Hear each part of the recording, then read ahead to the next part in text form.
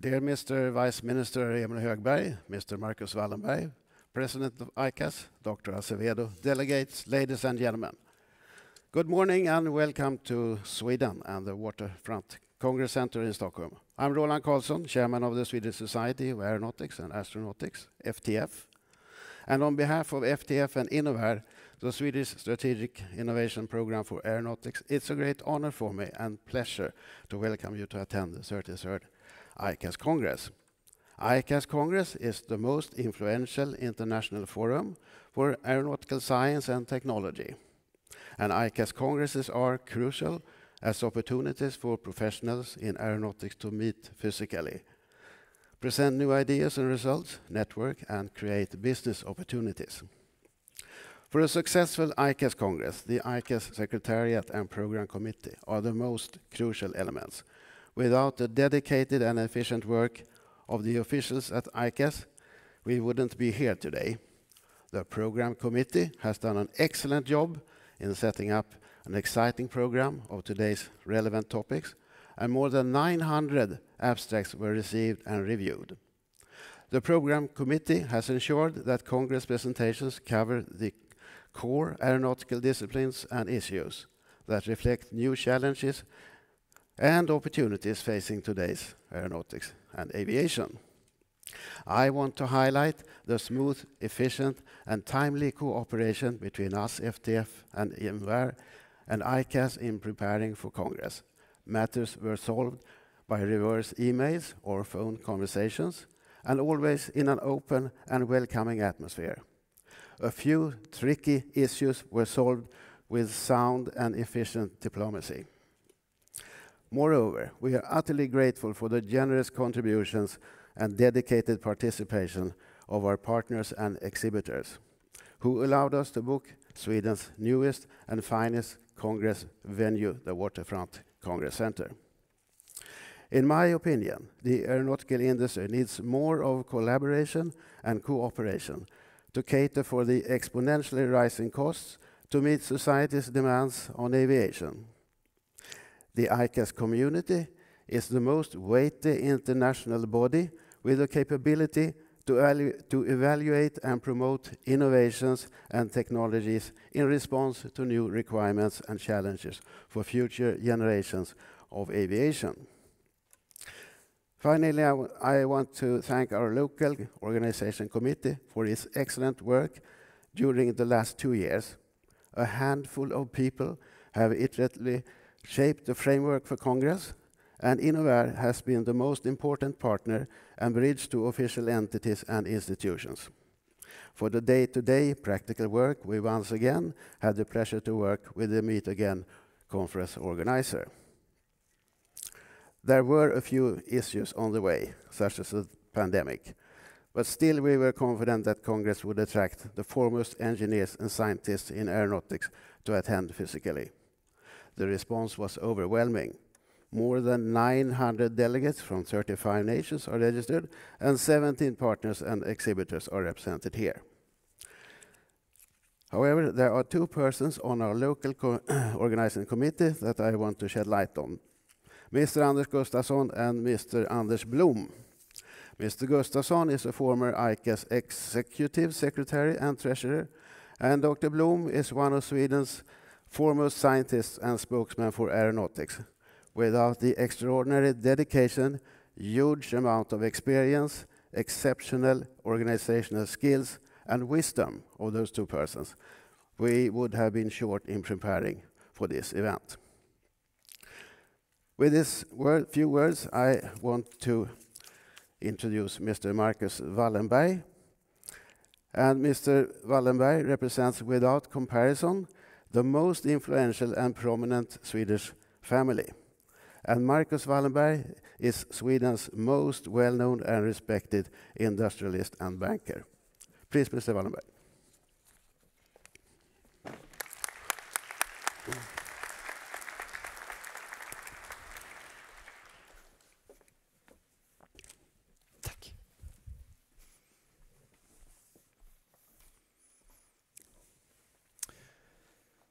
Um, thank you. Good morning, ladies and gentlemen, excellencies. Um, I, I, really want to thank Roland um, for this introduction. I want to thank you for having me today uh, as a speaker, uh, and that you want to listen to a banker is even more interesting. Um, anyway, I, I, I, want to say that we all know the importance of ICAS in the field of aeronautics and the fact that uh, the organization has decided to be here in Stockholm is something that we all appreciate very, very much.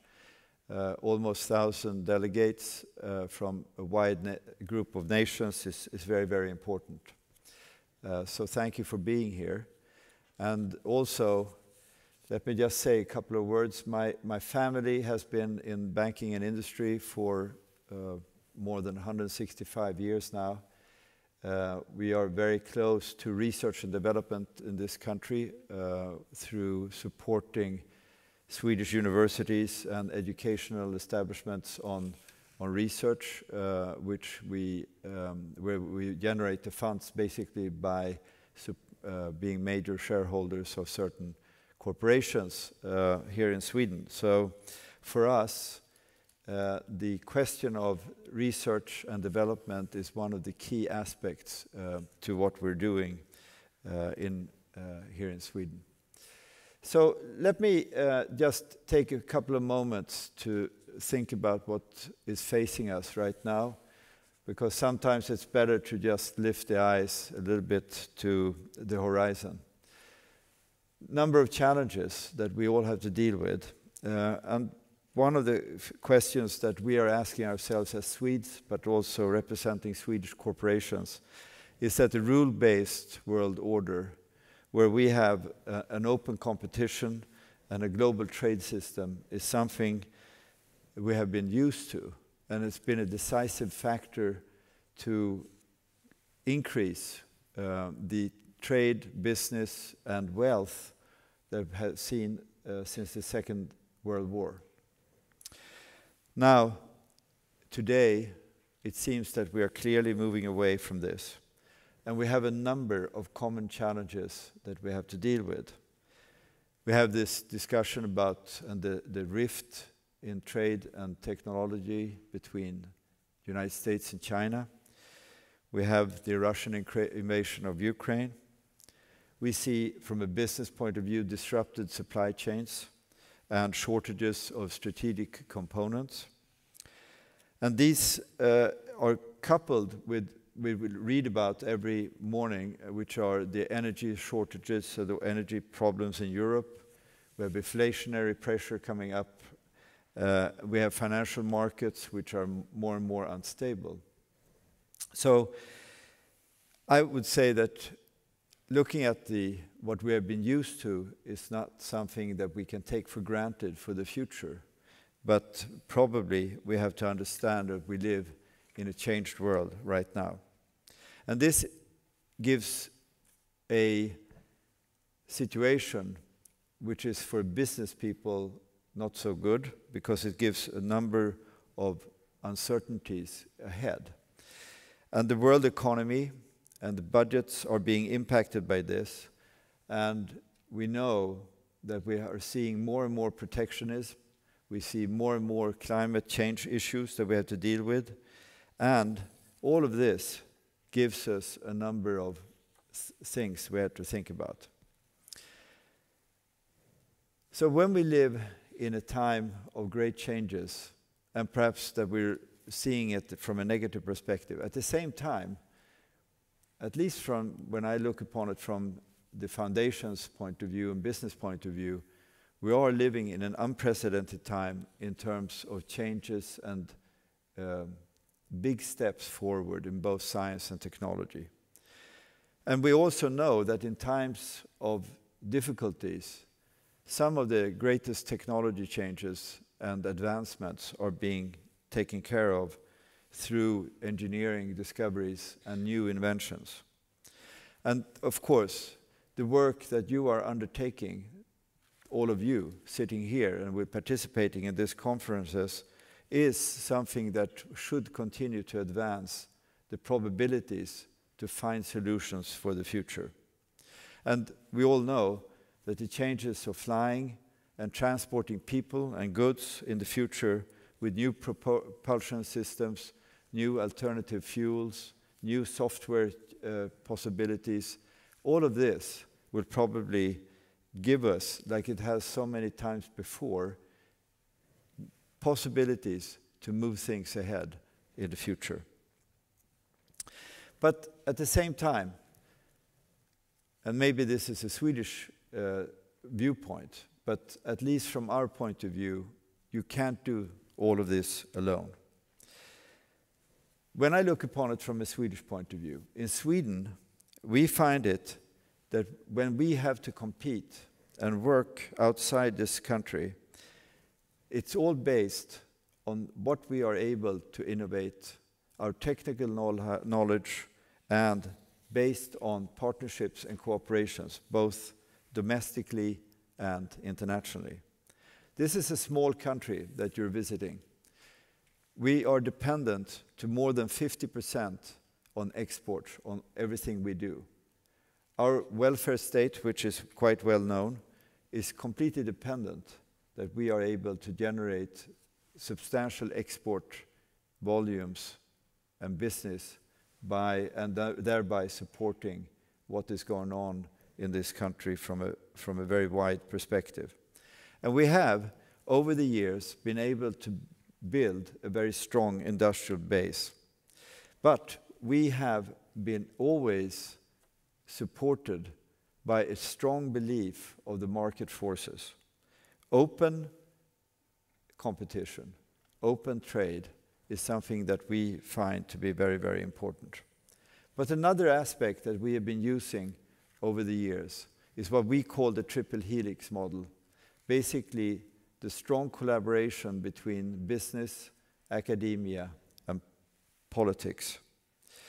And it has been in the past something that has been serving us very, very well, and which I personally believe is one of the reasons why we are able to have a good industrial base. There are a number of, of, of, of uh, historical examples that has really helped on this. In 1946, this, the whole Scandinavian uh, three countries decided that we needed an airline, and we cooperated between both business and government to form SAS to be able to support business in transporting themselves all over the place. We have, as you may know, a defense and um, aeronautics company called Saab here. It was formed in 1937 and it is really a joint venture between the Swedish government and Saab uh, and business. And it was created in the time before the Second World War to be able to fulfill the security needs of Sweden at the time.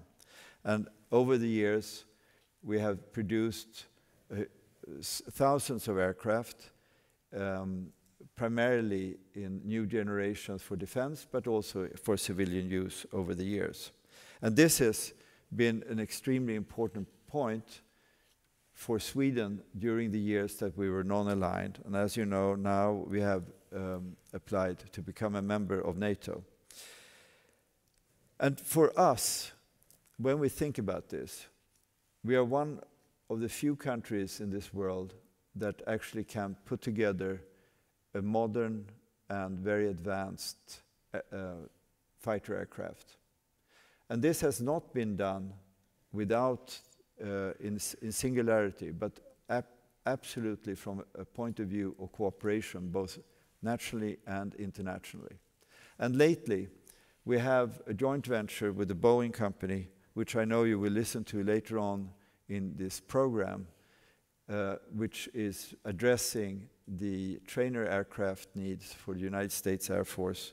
And we are very, very happy for this cooperation. It has been an extremely quick and fast development of this completely new aircraft. So what, what is my message to you here today? Well, we are living in a very, very challenging world. And we see an increase of the amount of tension but also possibilities. We need to continue to develop and find ways to cooperate much more over borders than less. The time we live living in, we are now contracting, we're using protectionism.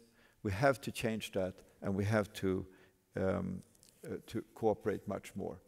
And I'm convinced that in the field of aeronautics, where you are used to use the tool of cooperating in such a great way over the years, we really should take the lead in this group to do that. And we are also having other types of cooperations which we should build in. Just in EU, as you know, we have the whole Clean Aviation Act, which is a very important tool for getting to uh, fossil-free or a clean way of propelling aircraft by 2050 uh, on sustainable fuel, etc. And we also have the EDF, uh, which is really supporting the defense industries on cooperating much more within EU. We should do more of this. We should more uh, working together to solve these common problems at, that we see in front of us. So I just want to say thank you very much for being here.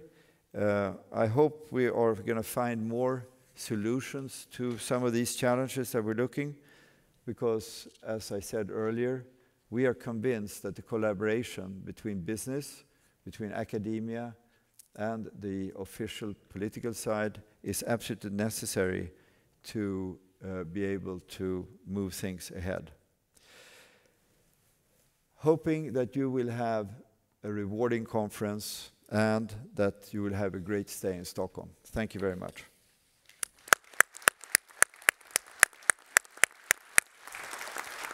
Should I go there, or he's gonna? Is he gonna call me? Thank you.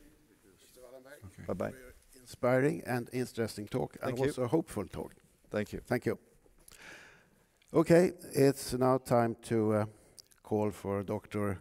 João Azevedo for the formal opening of the ICAS 2022 Congress. João, stage is yours. Thank you, Roland. Thank you very much.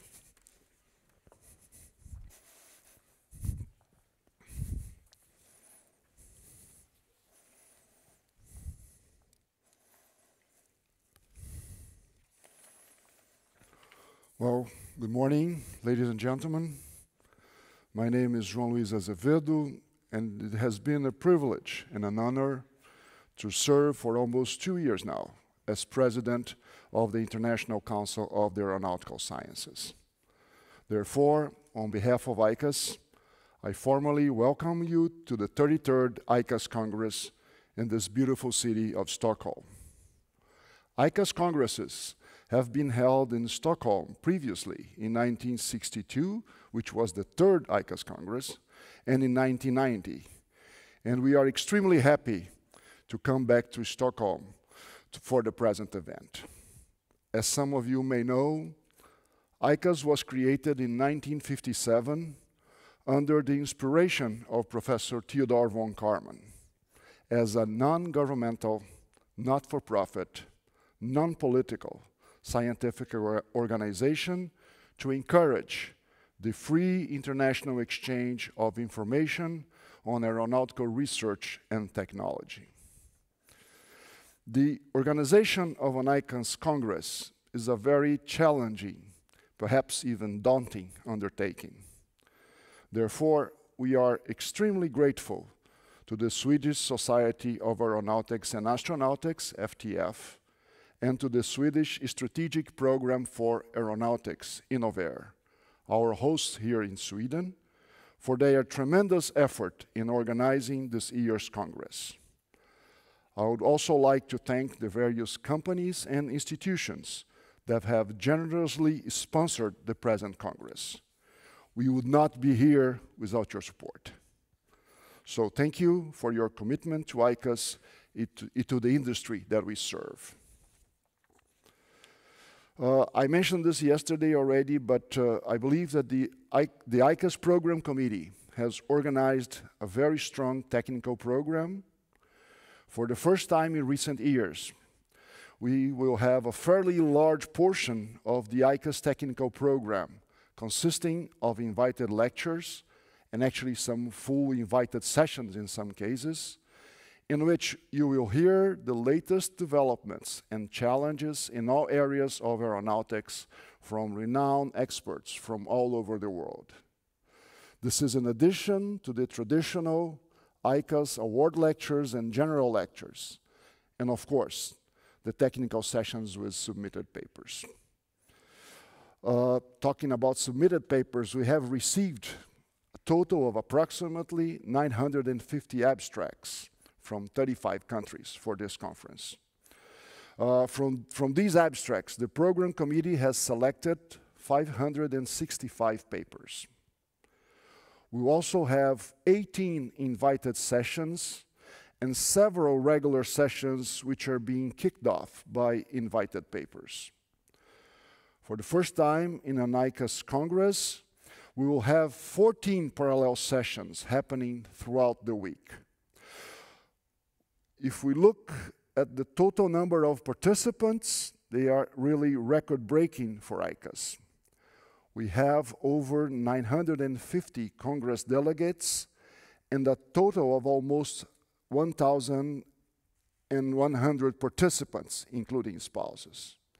Of course, these numbers are preliminary and they reflect the situation as of last Friday. I will have final numbers for you guys on Thursday. We are also experimenting with different technical session formats and have included some panel sessions in the technical program. As I said, I mean, I believe that we have assembled a very strong technical program, and I hope you will find it interesting and worth of your time and effort. I have also to acknowledge the work of the ICAS Program Committee and of our Secretariat, especially Mr. Bodo Heinrichs, the ICAS Coordinator, for organizing the scientific portion of our technical program. For the first time, we have adopted a schedule of abstract submission much closer to the event, as we believe that this procedure is consistent with the speed in which developments currently happen in our industry. It is true that the compressed schedule for the scientific organization of the present Congress was also motivated by the fact that our previous Congress in Shanghai had to be postponed by one year due to, due to the COVID pandemic. In an event, we believe that the experiment was successful and we intend to practice this compressed schedule for organizing the technical portion of the Congress for the future. Since I mentioned COVID, I have to admit that although the situation here in Sweden is somewhat normalized for some time, there were serious concerns about the ability of colleagues from some countries to actually come to Stockholm due to the ongoing restrictions that still persists in parts of the world due to, due to the COVID pandemic. At the end, however, participants from most countries have been able to travel to Stockholm. A notable exception are our Chinese colleagues who have organized the previous ICAS Congress, as I just mentioned, with a tremendous dedication and who have submitted a very large number of contributions to the present Congress.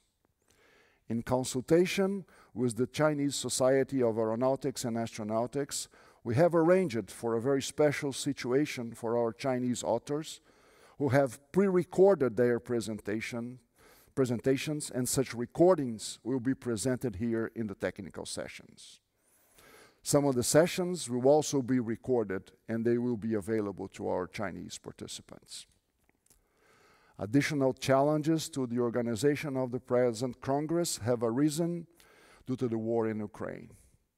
In consultation with TsAGI, the Central Aerohydrodynamic Institute, which formerly represents Russia at ICAS, our Russian colleagues have voluntarily withdrawn their contributions to the ICAS 2022 Congress. In conclusion, it is my pleasure to once again welcome you to Stockholm and to the 33rd ICAS Congress. I encourage you to take advantage of the very intense but hopefully very interesting technical program that has been prepared for you in the present Congress, as well as the networking and cultural opportunities that we will have throughout the week. I wish you all a very productive time during this week. And with that, I officially declare the 33rd ICAS Congress open. Thank you very much for your attention.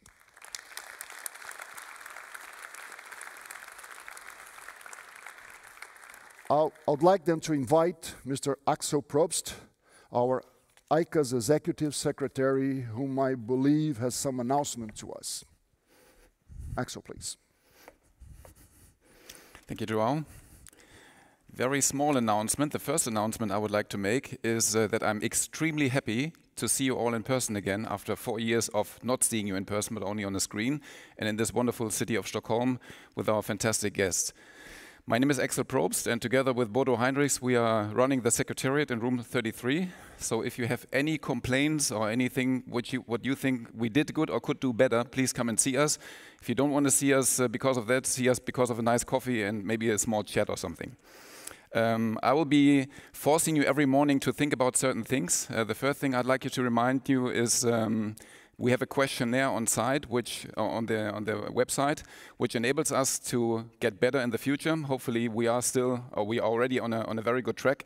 Uh, and as our president was mentioning, with the numbers and with the city and with the organization, I think everything is running good so far. But again, uh, with your very good feedback, we can definitely get better. And as a very nice token of appreciation, we will have a lottery at the closing ceremony where we will um, give away one Saab sponsored Gripen model uh, to the winner then, but you have to fill in your name for this at the questionnaire and uh, give us feedback. The second thing is for those of you who haven't read the 10 emails we've sent out so far, please upload your papers prior to entering the session room. Uh, we have a session uh, upload uh, room in uh, room two, um, uh, possibility in room 21. So that would be a possibility for you to go there with a USB stick to room 21 and upload your paper. You cannot upload this on the laptop which is in your session room. It's not possible. You have to run then, if you, if you just approach there with a USB stick, you have to run to room 21 and come back which, which is maybe good for your calorie situation, but not good for the session because it definitely needs to, to wait for you then. So please take advantage of this and please do this. And um, last not least, uh, I would remind the students that uh, tomorrow, prior to the student party, we have a speed mentoring in this room at 6 o'clock, so directly after the, the sessions will close. Please, all the students and the mentors, of course, come to this room and enjoy the speed mentoring. Um, as a little appreciation, everybody who attends the speed mentoring will also get one extra voucher for drinks later on for the student party. I guess that's it so far. I'm very happy to introduce Mr. Anders, Anders Gustafsson, uh, not only because he has some very good details for you to take uh, or to remember as well, but also he's my predecessor and uh, I'm very much in love with the, the, city of Stockholm due to the fact that Anders gave me a fantastic handover of the, of the positions, although I think that he wasn't really pre prepared to sit on the other side of the table actually organizing a congress. but I think in the end, he hopefully put in into the questionnaire some details that we together did quite well as well. Thanks a lot. Anders. Yeah. Okay, I was introduced, I don't need to present myself some housekeeping announcement then from us as the local organizers. And you see on the screen the little map for the reception in the city hall uh, this evening.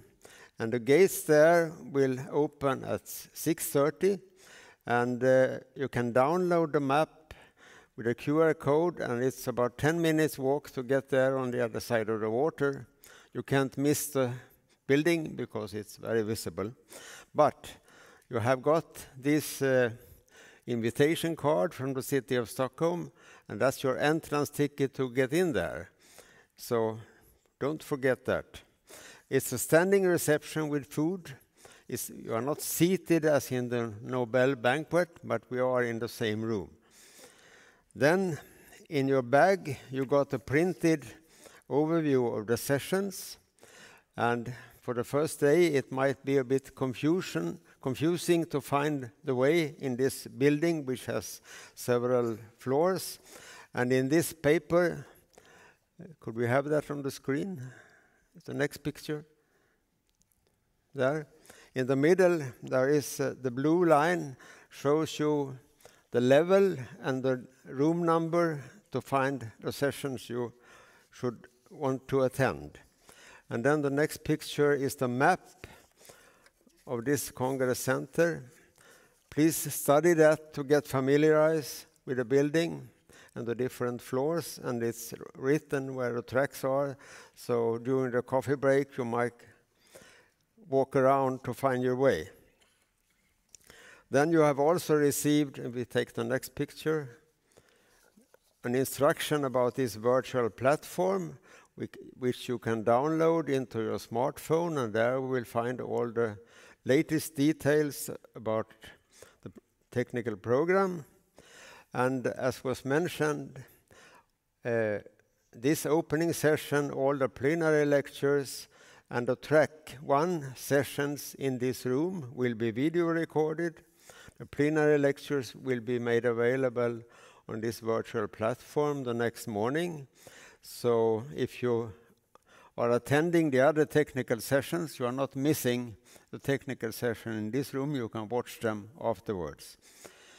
Uh, so I think that's all I had to say now. So we look forward to an interested, interesting and productive week. Welcome to Stockholm.